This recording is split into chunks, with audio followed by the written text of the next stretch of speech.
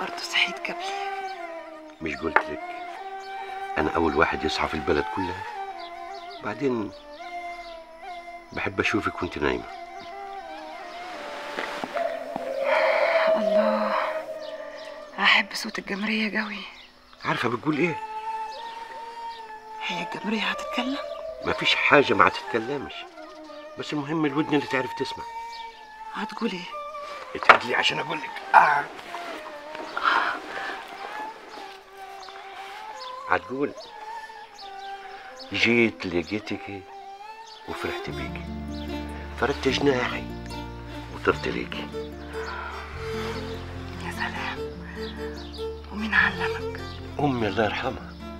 كنت أسألها عن كل حاجة وتجاوبني عن كل حاجة. الله يرحمها. الوحيدة اللي كانت تصحى قبلنا كلنا. وكانت تقول الصبح بدري رزقه واسع. اللي يلحقه يلحق رزقه. يا سلام. كلامها حلو. زيك. وأنا صحيت بدري عشان أشوفك وألحق رزقي. وأنا رزق؟ ما أنت فاكرة إيه؟ أنت فاكرة الرزق فلوسه بس؟ لا. ما هو الحب برضه رزق. وأنت هتحبني؟ اسال الجمريه أنا هسألك أنت. ما أحبش أقولها بلساني.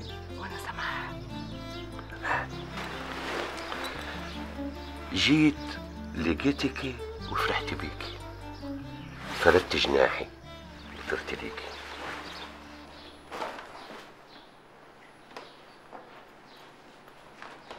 إيه مالك؟ ماليش. أمال ساكت وسرحان ليه؟ ملهاش لازمة يا منيرة. هي مين دي اللي ملهاش لازمة؟ الدنيا. سبحان الله. إيه؟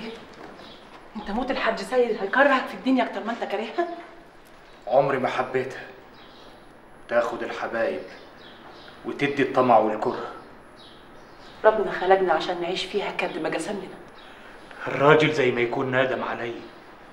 أنا سمعت صوته. رحت له لقيته مات. تعرف لو عندك شغل كبير ومصالح زي أبوك ما كنتش فكرت كده. كنت حبيت الدنيا. ابدا والله. تعرف إيه؟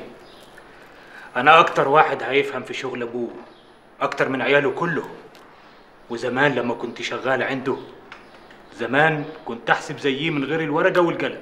ما شفتكش غير وأنت سايب الدنيا ومهمل كل حاجة. عشان عرفت من بدري إني ملهاش لازمة. لا ليها. طول ما إحنا فيها يبقى ليها. عارفه أنا سبت الشغل مع أبوي ليه؟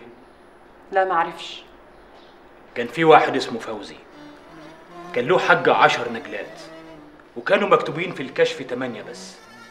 هو حلف إن هم عشرة وأبويا قال له من غير حلفان مش هتاخد غير اللي مكتوبين في الكشف. الراجل طاطر جبته وقال مش عاوز ياخد حقي يا بلاش. تلقاه كذاب ومكفي أنا طرت وراه واديته حق العشر نجلات ومن جيبي. أبويا عرف وشتمني قدام الناس. وقال لي لما تبقى فلوس أمك وابقى اديله يعني أبوك هيزودوه النجلتين ده حج بيت ربنا. وأنا بعد كده عرفت إن الراجل كان كذاب. بس أنا ما أقدرش أعرف كل مرة الصادق من الكذاب. وأتحمل إن حد يتظلم. كل شغلانة في الدنيا فيها كده وأبوك مفيش زيه. وأنا مش عايز من الدنيا ولا من أبويا حاجة. كده تبقى ظالم. ظلمته. وظلمتنا وظلمت نفسك.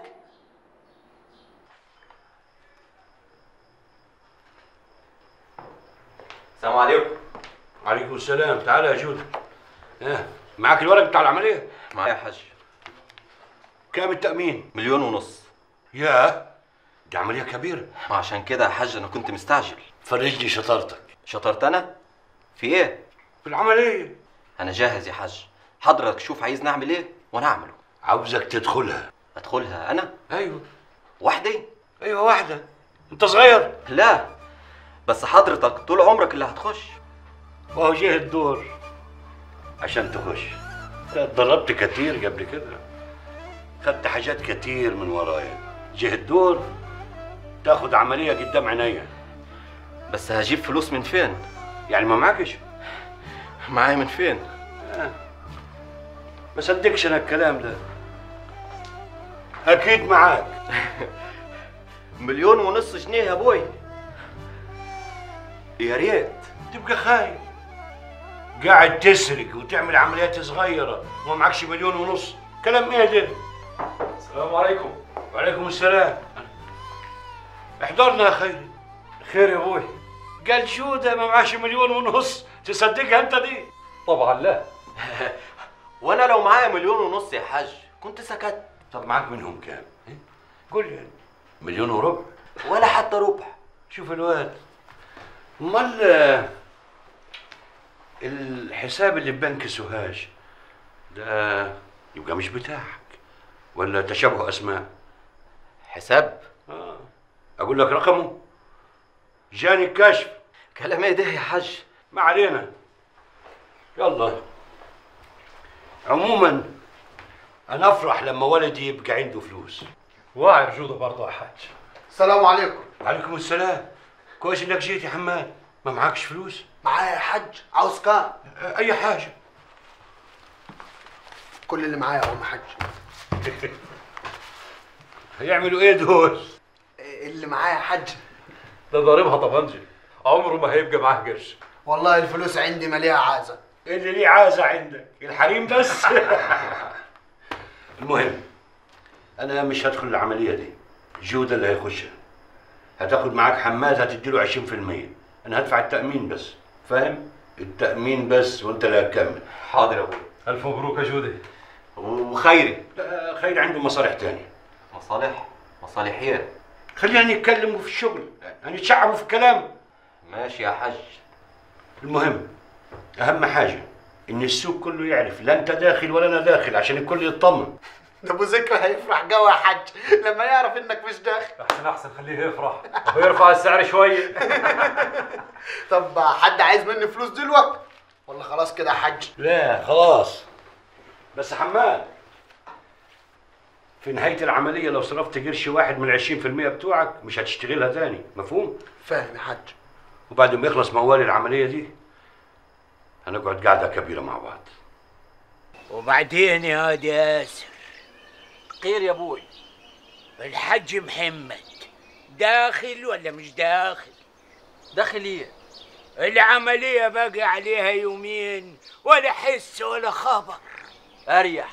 تلقاه تعبان من الوجعه الأخرانية وهيريح شوية لا. ده كان نايم على السرير في المستشفى والجرنان تحت راسه. ده ما بيسيبش حاجة تعدي من تحت ضرسة أبدا. انت حط أسعارك واللي يخش يخش. اللي يخش يخش كي يا ابو المفهومية ده زي ما يكون مخاوي عفريت. كل دور العفريت ده إنه يقول له أبو ذكري حط المتر بكذا. ينقص هو خمسين قرش وربع جنيه ويلهفها. ما انت هتقول ما داخلش يبقى قلقان ليه؟ لازم أتأكد بنفسي. لو حط رجله أسحبها أنا وهتتأكد من مين؟ منه هو. هو حويط.